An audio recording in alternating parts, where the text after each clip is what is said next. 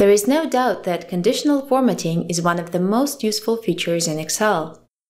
Standard rules let you quickly color the necessary values.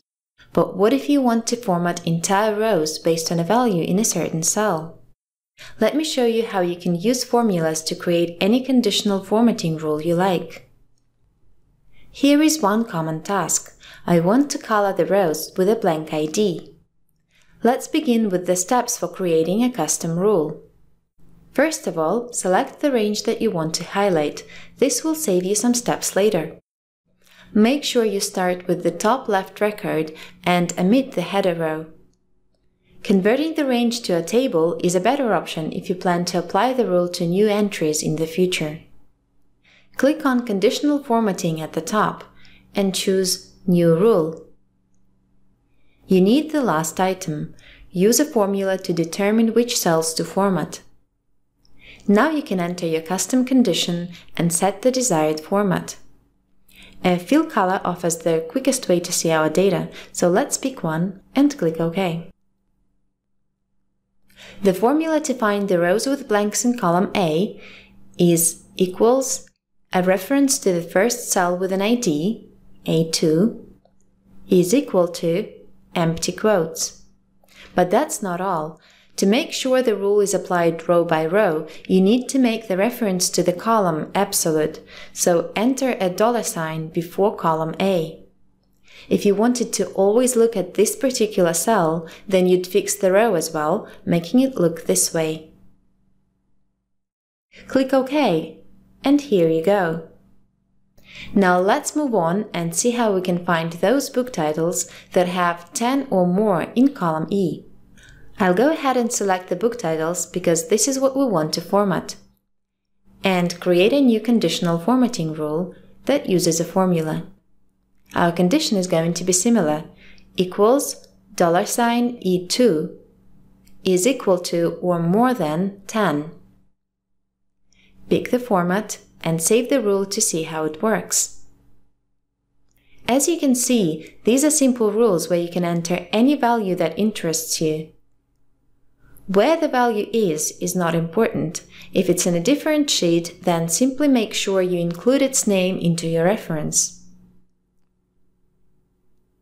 Let's move on to the cases when your condition concerns two different values. For example, you may want to see the orders that have a high priority and over 8 in the quantity field.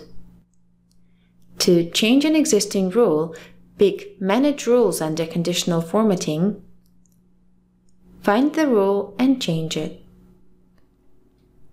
To make sure several conditions are met, enter equals and, then list your criteria in brackets. Dollar sign D2 is high. Remember to use quotes for text values.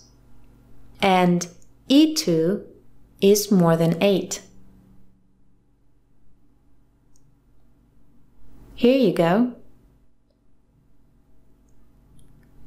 If you want to make sure at least one condition is met, then use OR function instead. Replace the function. Now it will read, highlight the row if the priority is high or if quantity is over 8. Here is another function you will appreciate if you work with text values. The task will seem tricky if you want to look at the cells that contain the keyword along with anything else. Select the records to color, create a rule, and enter equals search, open parenthesis, and enter your keyword in quotes. Add a comma, then add a reference to the first cell you want to check. Remember our absolute references close parentheses, and enter more than zero. Note that if you enter more than one, then you'll get only those cells that start with this text. You can use practically any formula as a condition. In one of our previous videos, we covered how to identify duplicates with the help of conditional formatting. And you can find some more great formula examples in our blog post on this topic. And before you go formatting your table, let me quickly go over some typical mistakes that may not let you get the results you expect.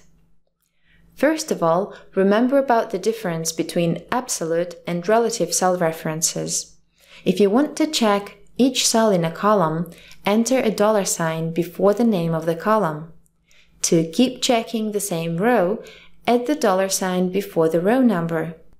And to fix the cell reference, in other words, to keep checking the same cell, make sure you have a dollar sign before both the column and the row.